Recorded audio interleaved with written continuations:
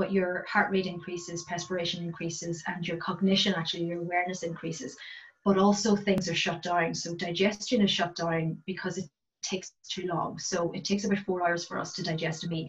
Um, so again, that can lead to symptoms of compromised digestion. Your reproductive health is shut down. Again, I can ovulate later. It takes an awful lot of energy for me to ovulate to release blood as well. So again, I can do that later. Tissue repair is shut down. So that ability to heal wounds, to repair um, arterial function, whatever that is, that is shut down and compromised. So you can understand and that's and that's fantastic. It's really really adaptive. Yeah. but when you come over here then to the um, rest and digest or the parasympathetic version of that you switch it off. All is well. It's fantastic. Mm. but what happens in today's society is that we very rarely turn that off. We live in this predominantly i need to get it done i need to get it done i need to get it done. And that's what's happening all of the time. So, for example, an example in modern day would be, you know, um, I know not many people are back in their offices in terms of COVID and things like that, but you know, you would have been running to the petrol station, for example, to grab a to grab a sandwich, and then you would be on your way back. You'd be eating it on the go, and you'd be maybe taking a call from all the time, all the time, sitting eating it in the car. Um, so, what the result is, you're not actually giving your body time to, you know, to stop Yeah. um, and you're just kind of doing all of these things. So that's what's happening physiologically. So when you're in that state most of the time, you're then you're then um, exhausting the stress response, and that's when chronic inflammation can happen in the body.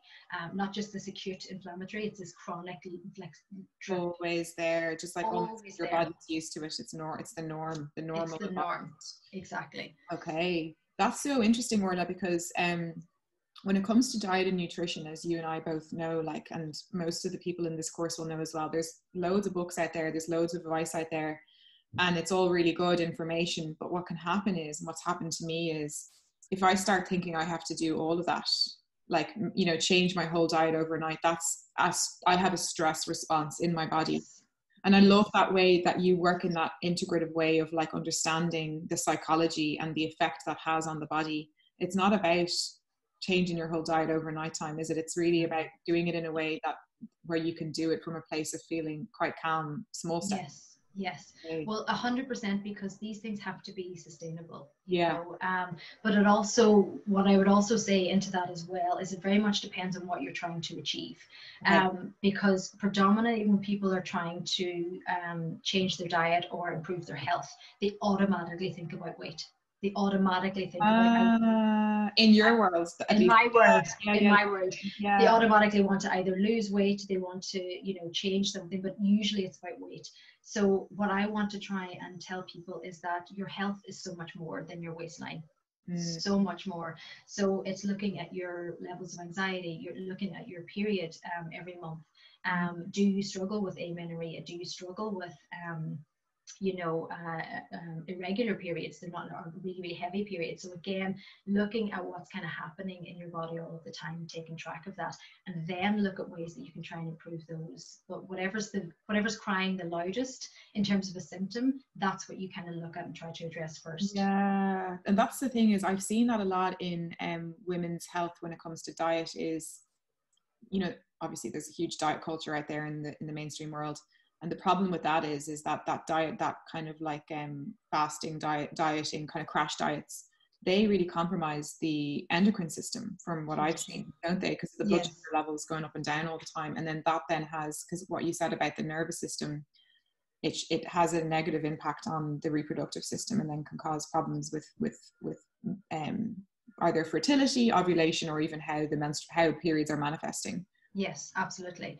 Yeah, I think it's really, really important because hormones are hormones are so so important and you will hear like hormone balancing and hormone imbalances and things like that and you know i suppose it's important to maybe look at you know there's there's hormones are usually classified into three various different types. So you have amines you have your protein peptides and then you have your steroid hormones. So again they come from cholesterol. So it's it's really really looking at the interplay between our diet our environment and our stressors really in terms of balancing out these hormones and making sure that they are they're functioning correctly. So for example within diet it's really looking at you know putting in the right foods so if your um, steroid hormones for example they're derived from cholesterol if you're not getting any fat into your diet and a lot of times females in terms of these crash dieting and in terms of like you know mainstream pop diets um, or popular diets, they, they avoid fat at all cost. But if you are, are not manufacturing cholesterol if you're not if you're not giving yourself the raw materials to make cholesterol to make hormones there's going to be an imbalance there. You're not manufacturing these things correctly. So it's yeah so it's really important you have the raw materials to help yourself to make these things. That's why like fat is such an important macronutrient for females, especially because number one, it fat is the the um it's the outer layer of all cells. So the lipid layer is the outer layer of all cells. So in terms of that replication of cells as well, fat is hugely necessary. But as well from a hormone perspective and from a carrying life perspective, um, fat is just so, important. So that's something that I always try and um, bring to the attention of females as well when they're changing their diet or they're looking to change their diet is to yeah. not think about fat as a demon and not think about it as the enemy.